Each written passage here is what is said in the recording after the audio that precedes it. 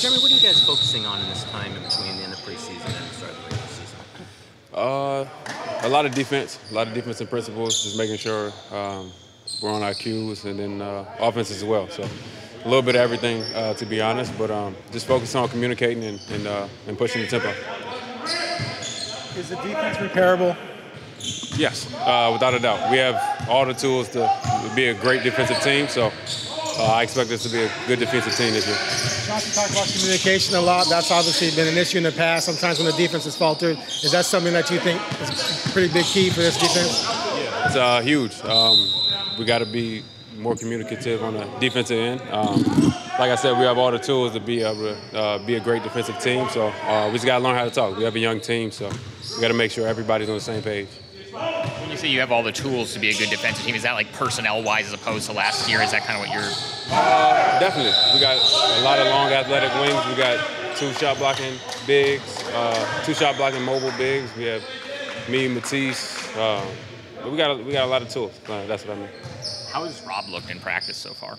Uh, he's been looking great. Uh, he had a great practice today. Um, looking forward to you know getting on the court with him and um, just seeing. I mean, he got a he got a lot of a lot of tools. He got a lot of things that he does well that you know you might not have seen in the past. So looking forward to that. What would constitute success for this team this year? Uh, just taking it a game by a game at a time. Uh, we want to grow as a team, but we also want to win. Um, yeah, I think uh, that's what it is. We want to get better uh, consistently. I think um, as long as we're getting better um, every game, I think I think that's the one. With Damian gone, what are you expecting from Ant? A lot of shots freed up. He played really well when Dame was out last year, two years ago. What are you expecting from him in terms of his growth? Uh, expecting him to grow. Um, he, has, he has the tools. He had them last year. Um, he had them for a while now, so I'm just expecting him to take a bigger role, uh, score the ball. Will you be that consistent big shot guy for you guys?